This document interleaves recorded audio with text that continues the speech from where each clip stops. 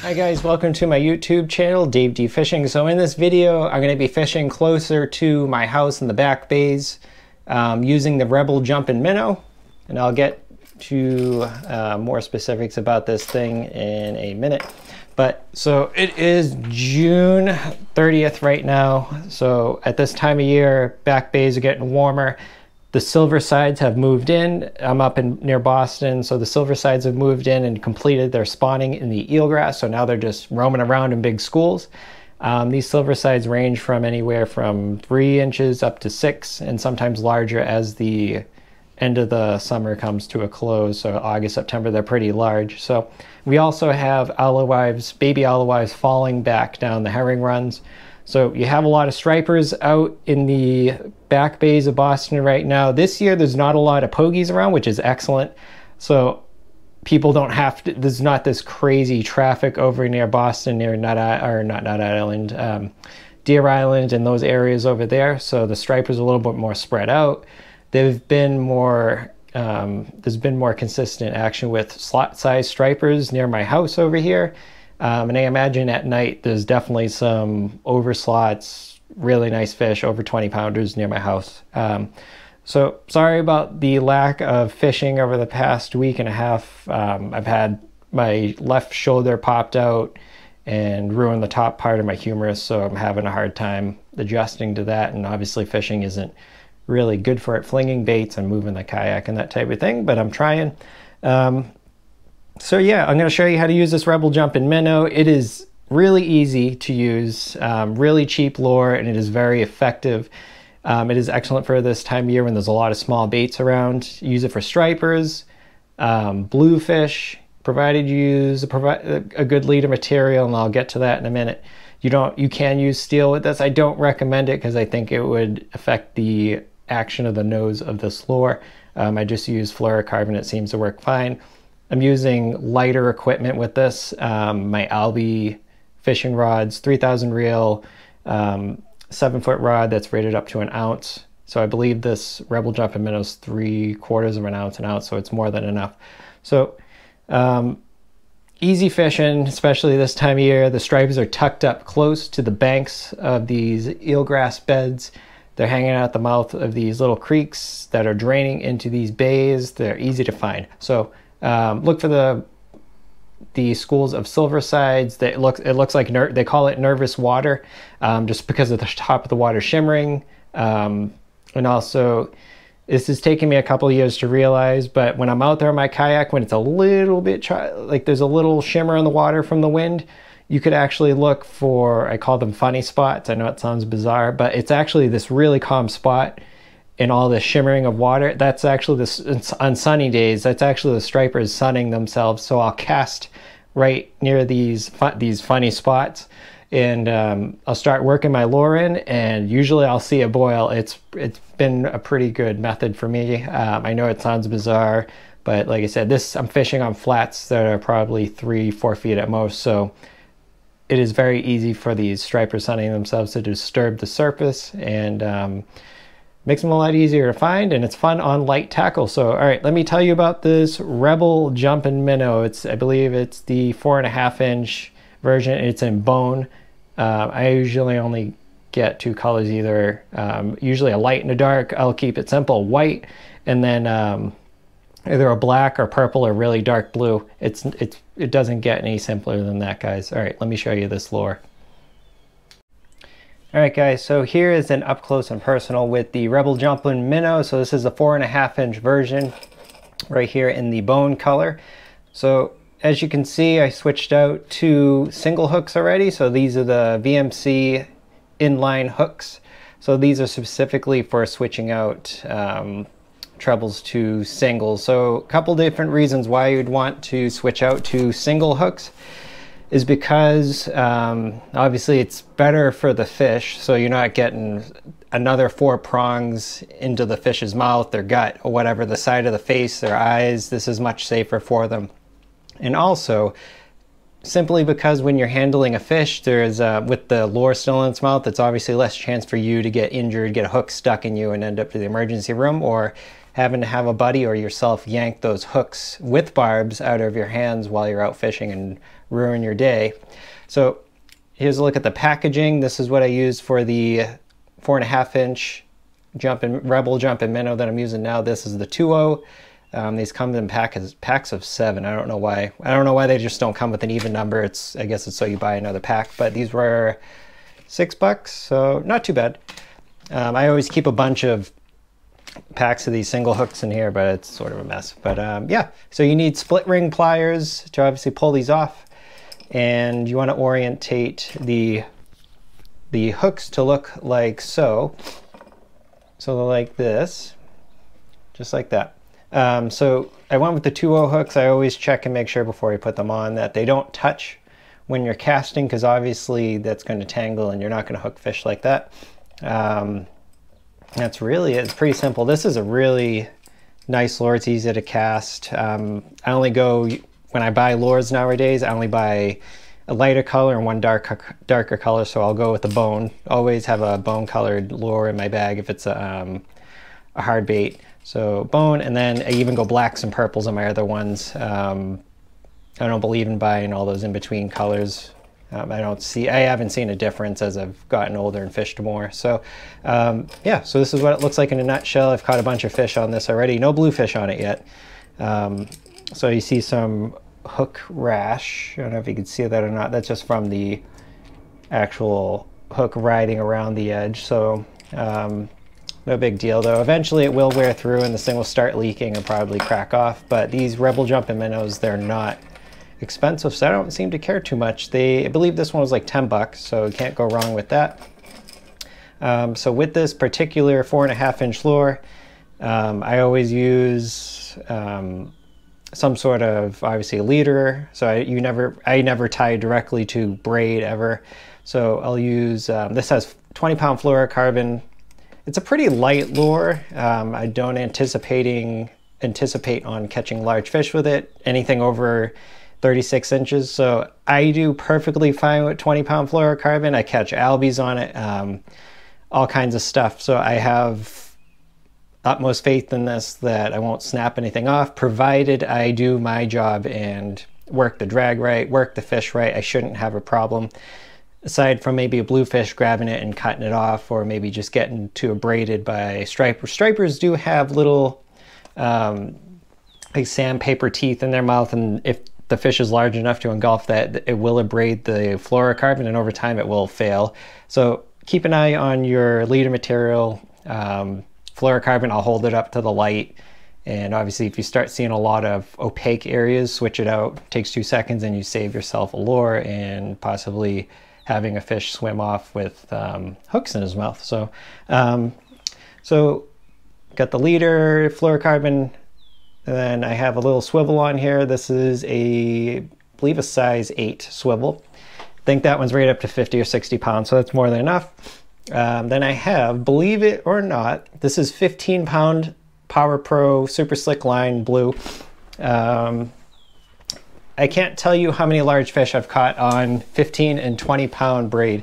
Um, I've caught, was it last year? caught a bunch of albies on 15 pound braid. If you don't know what albies are, they're little tiny tuna, but they pack a lot of punch above their weight. So um, they're little tiny tunas and they fly off. They're like usually the ones I caught last year are above 10 pounds and 15 pound braid more than enough. Like I said, you need the skill to bring these fish in. Um, obviously, your body is part of that drag system. You, it's not all the reel itself with the drag components in there. It is you controlling the tension of the drag, you controlling the rod and letting the fish run and there's there's some sort of there's a suspension effect from the tip of the rod your arms your back everything um, so it is very dependent on success on how you pull these fish in so 15 pound Power Pro braid, little, sorry, little 3000 reel on there. You don't need, I don't need to go crazy. I can still get these, work these fish in pretty quick, even if they're larger.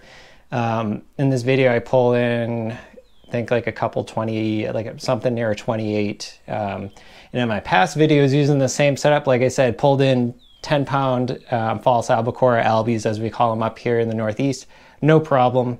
Um, even last year in the Cape, I pulled up, I think, a 34 on this. No, absolutely no problem. So benefits to using a lighter weight rod. So this is a seven foot um, Tsunami Carbon Shield 2. It is an excellent rod. I believe it's 120 bucks. It's seven, yeah, seven feet. It's perfect length for the kayak, so I could still reach around the nose of the kayak, and I have to reach around um, behind me towards the um, back of the kayak and swing the fish around. So it's plenty long enough, and it's not too cumbersome to cast on the kayak. The butt end of the rod is plenty short enough, and it's a light, it's a lightweight setup, and that's all I need.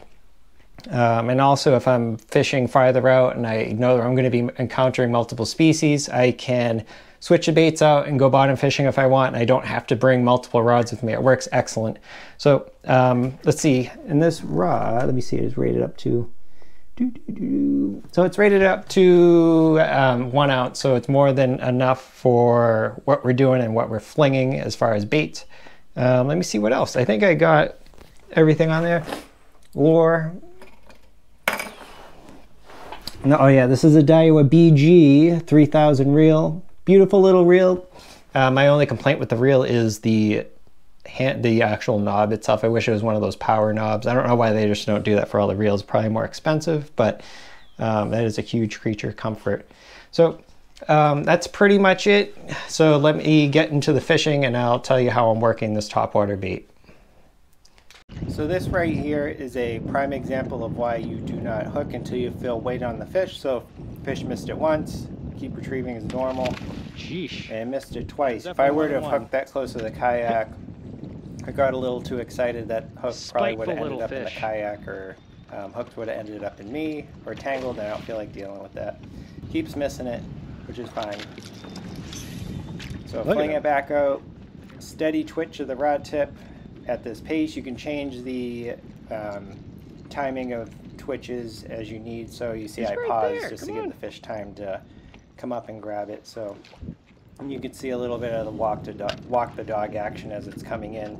But like I said earlier, you can change up the erraticness of this lure. The faster you twitch it, um, it becomes more erratic, starts darting and actually jumping out of the water, which it's intended to do, and it um, attracts a lot of attention from these fish. Angry little fish over here. This spot I'm about to cast to is one of those quote-unquote funny spots that I see when the water's a little choppier and there's a clear patch of calmer water in that. Feels lucky That's right where the there. fish have Feels been like cruising around and disrupting the waves themselves or just sunning themselves and doing the same, disrupting like the water.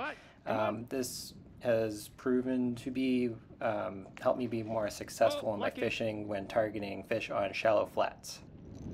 I knew it, I felt it. All right, if you notice during this cast, check it out, and I'm actually twitching the rod a little oh, bit more, crazy. and I'm holding the tip higher. That's because of the chop, and I want to make sure that lure stays on the top, and also with the erraticness, that um, it's yeah, making more noise, and I feel like there. it's overcoming the noise of the water itself.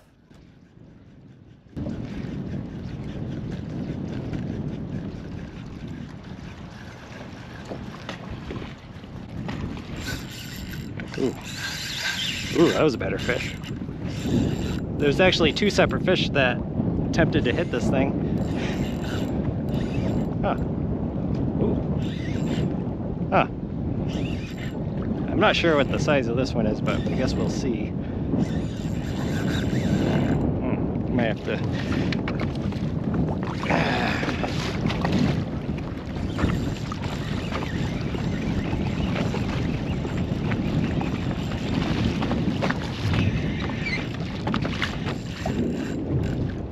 Here, you foul beast. Oh, oh, all right. It's actually a bigger striper than I thought. That's definitely a keeper. Or maybe, I'm guessing, maybe 27, maybe 27. Uh, I'm gonna be, I'm gonna be letting him go, even if it is a keeper. That was a cool hit. I actually saw, yeah, saw two separate fish come up and grab this thing.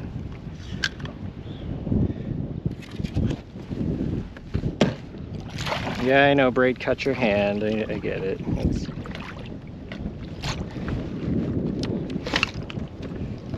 Very good hit, fish. All right, come on. Oop. All right, sweet.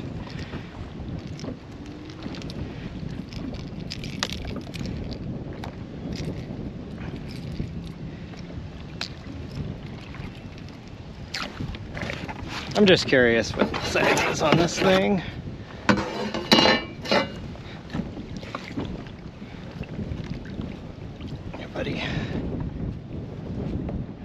26 and a quarter. I was just curious. Yeah, these fish aren't very, um, a couple weeks ago they were very chunky and happy looking. These ones are a little thinner. Come on, bud. There he goes, happy fish.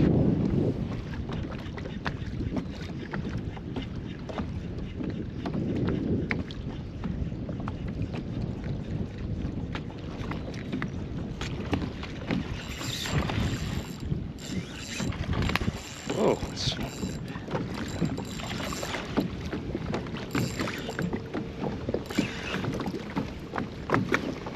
Hmm. Let's see what this is. Oh, it's a little stripe. That was a very cool hit.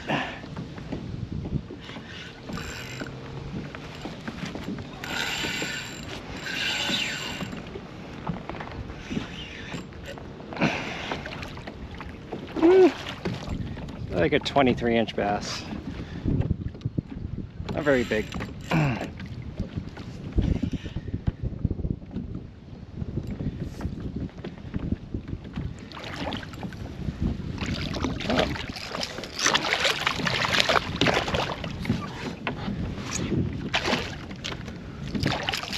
on, kid.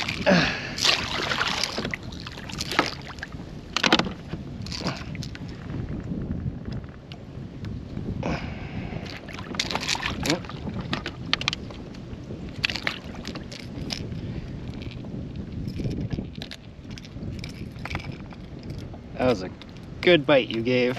Very good.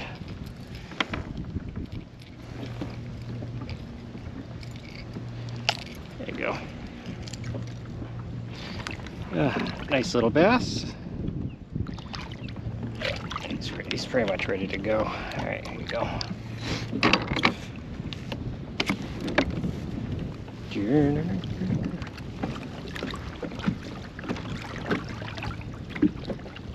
There he goes. Good. Very good. So with this thing, check it out. Twitch the rod tip, and that's really it. And this thing will dart, oh, pretty hectically on the top. Um, and attracts attention. That's really it. So this is just a schoolie. But yeah, that crazy motion of this um, me see. Where is he going? Of this Rebel jumping minnow is the magic in it. I love this thing.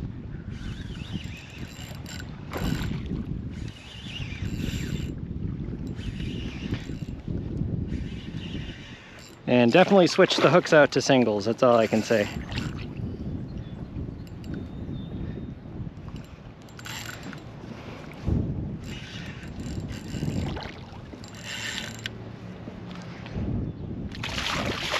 Cookie cutter size of the last one. Come on, buddy.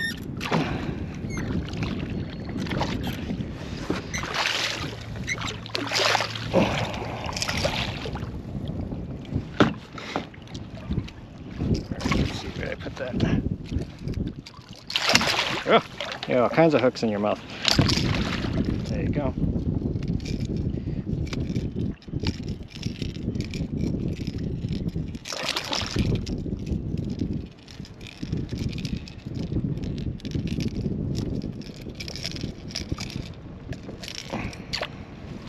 Uh, ready to go. But yeah, nice little fish. This one has a lot of like lesions on it. It's weird. Huh. There you go, buddy. Where there's one, there's more. Oh, like that. There's one right there. I'm gonna slow it down. See if he'll come up to it. Nope. It's the same fish, I bet.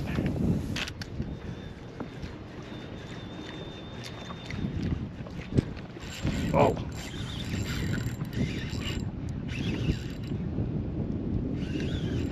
Yeah, cookie cutter fish. But these fish on light line and the bays, you, you really can't beat it. Well, I guess you could, but I like it. Because not everybody, the reason why I do these videos is because not everybody can afford to go out a boat all the time. Not everybody has a ton of um, opportunity to get out after work. So back bays are pretty accessible for most people up here in the area that I live. And they're easy to launch from. So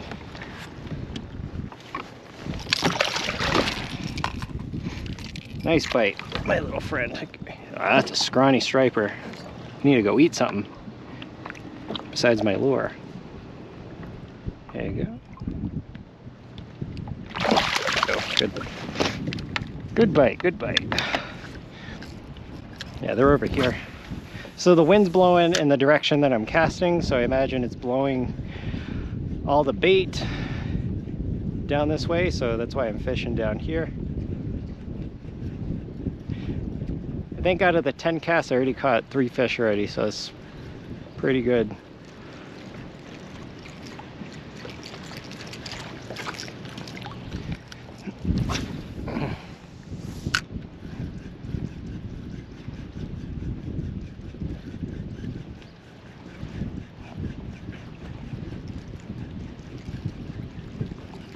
Oh, there you go. Come on, slow it down, slow it down. Eh, oh! That was close. Looks like there's more than one fish over there.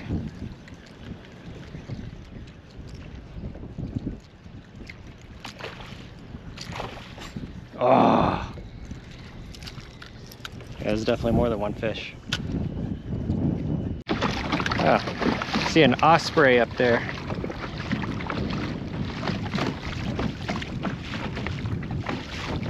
I do have my Pogie snagging stuff with me and I do have a heavier rod, so, and I have circle hooks, mind you. See something, but I'm gonna carry on with this little top water right here. It's a good search tool.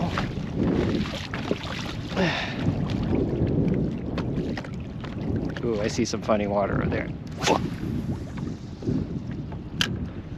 I couldn't, yeah, it's close enough, I guess.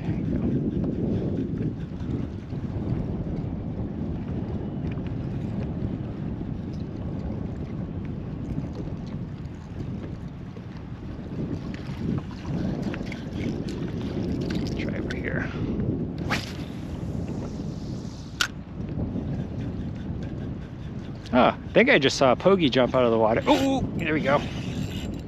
Yeah, another diaper striper.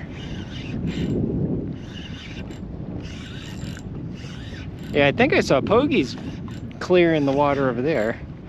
Oh, that's a small one.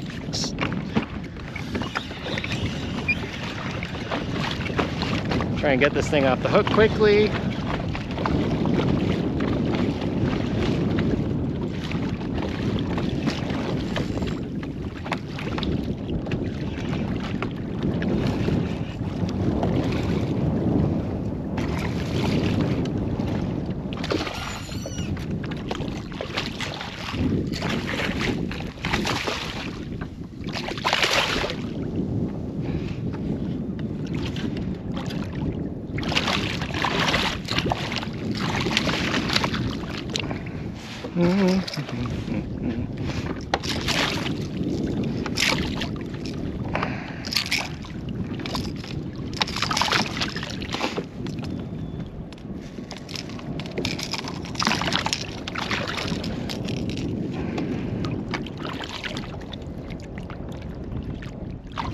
It, you made it to the end of my video on how to use this Rebel Jumpin' Minnow. Um, it's a four and a half inch bone color. It is. Switch to single hooks um, just to prevent injury, worsened injury to yourself or fish if you happen to have this hook fly into your body somehow. Um, using the 2.0 hooks, VMCs, very sharp, very good. Um, so very easy lure to use, very good for the kids to learn how to fish top water. Um, you could use light tackle with it, that which lends itself to younger angler, anglers figuring out how to fish with it. Um, yeah, pretty good lure, pretty good search tool for searching for fish that are actively feeding top water. Um, good for you that like to see the, the visuals of a fish smacking a lure. Doesn't get any more exciting than that. So if you like this video, please give a like and subscribe. Thank you.